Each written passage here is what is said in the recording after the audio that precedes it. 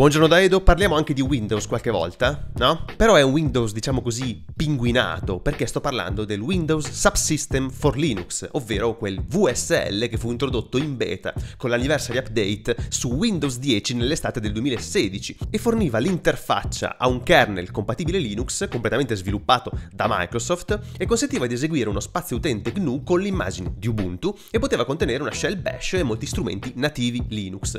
Poi, nel 2019 era arrivato VSL 2, che era una completa riprogettazione, stavolta su una virtual machine leggera, basata su Hyper-V, che ha le stesse performance della versione precedente ma offre molte più possibilità e nel frattempo sono arrivate altre distribuzioni che è possibile installare come SUSE, Kali, Debian eccetera. La notizia di oggi è che Microsoft e Canonical hanno lavorato assieme per aggiungere il supporto a Systemd. Systemd è un software Linux che agisce come un service manager e serve per inizializzare demoni e servizi al boot del sistema operativo e poi offre tool e funzionalità per gestire i servizi nella loro fase di vita ed è il primo processo creato dal kernel Linux durante lo startup, mentre tutti i servizi successivi sono lanciati e gestiti da systemd stesso, quindi sono uh, children di systemd. Fino a questo momento VSL utilizza init come service manager e quindi le app Linux che richiedono systemd non possono funzionare. Parliamo di app come Snap, MicroK8S o systemctl. Questa novità ha richiesto un cambiamento a livello architetturale per VSL perché systemd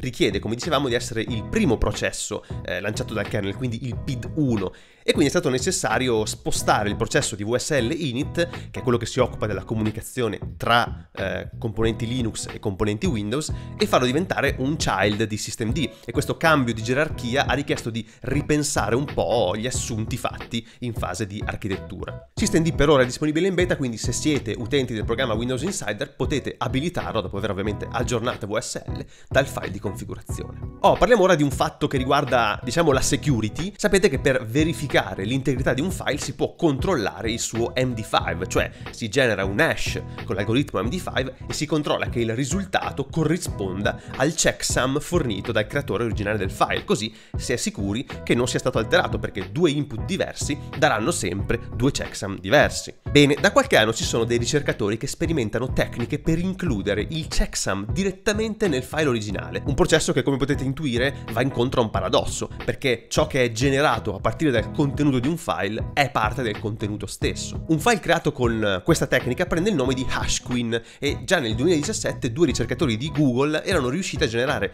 GIF o GIF, GIF e file PostScript con questa tecnica. E oggi David Buchanan è riuscito a generare un'immagine PNG contenente il checksum, quindi la prima PNG HashQueen. Il nome di Buchanan forse vi risulta noto se seguite un po' la security perché lo scorso anno aveva generato un'immagine che veniva mostrata in modo molto diverso sui device Apple e su quelli non Apple.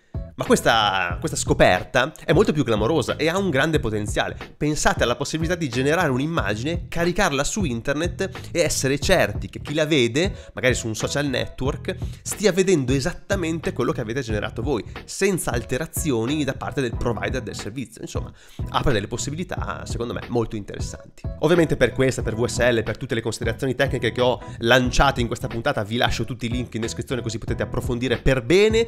Grazie per avermi seguito anche oggi. Domani, quindi mercoledì 28 settembre, niente buongiornone perché c'è il Drupal at Localhost di cui sono host. Anzi, se vi va veniteci a trovare. Eh, siamo su YouTube, è un evento gratuito creato da Grusp e Spark Fabric. C'è della bella gente, parliamo di Drupal. C'è anche Driz, c'è Driz, il creatore di Drupal, il grande creatore di Drupal. Per la prima volta in Italia nelle vesti ovviamente di ospite di un evento di questo tipo. E ovviamente gli chiederò come si pronuncia il suo dannatissimo cognome, insomma, se volete ci vediamo domani, altrimenti alla prossima qui. Al buongiornissimo.